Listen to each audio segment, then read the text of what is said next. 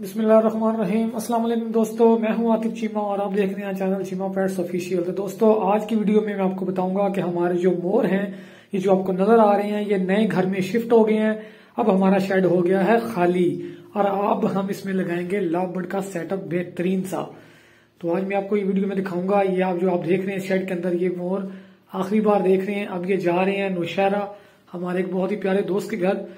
यहाँ से ये चले जाएँगे शेड सारा साफ़ करेंगे। इस वीडियो में आपको मैं दिखाऊँगा। और एंड तक वीडियो के साथ जुड़े रहिएगा। वीडियो एंड तक ज़रूर देखिएगा। अच्छे अच्छे कमेंट कीजिएगा। ये देख लें, मैंने सोचा शिफ्ट करने से पहले आपको एक दफ़ा ये दिखा दूँ। अभी मैं इनकी पैकिंग करूँगा।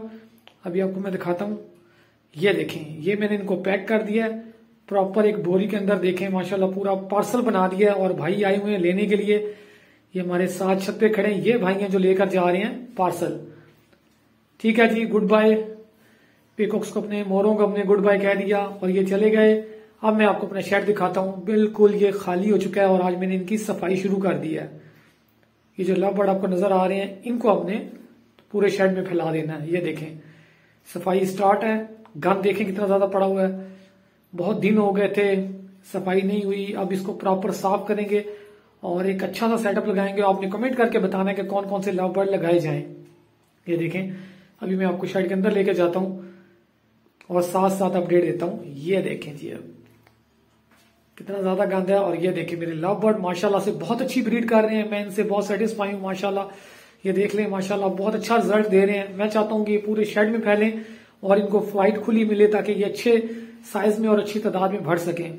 ये पूरा शेड जो खाली हुआ है अलहमदुल्ला अब इसके अंदर मैं इसको इस छोटे से कॉलोनी से निकाल कर पूरे शेड में इसका सेटअप लगाएँगे। अब हमारे पास ये मोरों की सिर्फ़ यादें रह गई हैं जी। ये देखें मैंने लकड़ी के दरख्त ला के रखे हैं, यहाँ पे पुराने। प्लानिंग बहुत अच्छी है, बहुत ज़बरदस्त बनाएँगे इसको। आप कमेंट करके बताते रहिएगा। ये देखें, सारे पर पड़े हुए हैं मोरों के यहाँ पर। ये देखें कलरफुल शाइन वाले पर। ये आपको मैं चेक कराता हूँ, ये देखें, कितने खूबसूरत पर है इनके। जो बड़े थे और साफ़ थे, वो तो मैंने उठा लिए थे और गुलदस्ते में लगा दिए और बाकी ये गांधी है सारा तकरीबन। इसकी सेटिंग करते हैं। तो अभी मैं आपको चेक करवाता हूँ। झाड़ू लगाने के बाद, साफ़ करने के बाद आपको दिखाता हूँ कि कैसा लगता है। तकरीबन दो से तीन घंटे का ये काम है। ये देखें, एक साइड से व्यू दिखा रहा हूँ। आप देखें, माशाल्लाह जी, ये देखें। तकरीबन डेढ़ घंटा लगा है और ये सारा साफ़ कर दिया है। ये जो बड़े बड़े गट्टू हैं, गंद के भर के बाहर फेंक दिए ये साफ़ हो गया, ये देखें। अब इसकी सेटिंग करेंगे। वीडियो को कंप्लीट देखें और नेक्स्ट वीडियो में मैं आपको इनशाला इसमें जो मटकियाँ लगानी है लव बर्ड की जो तरतीब से सेटिंग करनी है, वो करूँगा। अभी फ़िलहाल ये सफ़ाई के बाद जो मैं इसकी फाइनल टच में आपको दिखाता हूँ कि कैसा किया ये देखें जी। इसकी जो वुडन बॉक्स पड़ा हुआ था, बड़े साइज़ का, ये मैंने बिल्कुल सामने उसको फिट कर दिया है। लकड़ी के ये जो तने थे, पुराने, ये लगा दिए हैं। ठीक है?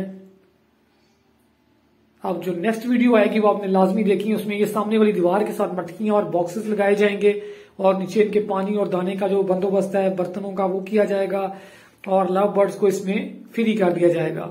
इनशाला बहुत अच्छा रिज़ल्ट आएगा, बड़ी फ़्लाइट मिलेगी इनको और एक ब्रीडिंग का बहुत बड़ा सेटअप मिलने वाला है, वो भी आपको इनशाला हम दिखाएँगे।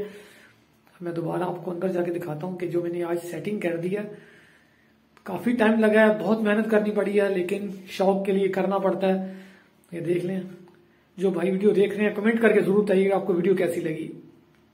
और जिन भाइयों ने चैनल को सब्सक्राइब नहीं किया, वो भी काइंडली चैनल को सब्सक्राइब कर लें और अच्छे से कमेंट करें। जाते जाते आपको अपनी सोसाइटी का खूबसूरत सा व्यू दिखाता जाता हूँ। ये देखें कैसा माशाल्लाह खूबसूरत व्यू है। मौसम बहुत ज़बरदस्त है, धूप निकली हुई है, बिल्कुल पहाड़ क्लियर है। तो इसके साथ ही आपसे ज़्यादा चाहूँगा, अपना बहुत सारा ख्याल रखिएगा, हमें दुआओं में याद रखिएगा। मिलते हैं नेक्स्ट वीडियो में एक नए सेटअप के साथ। अल्लाह हाफिज, अल्लाह ने के बाद।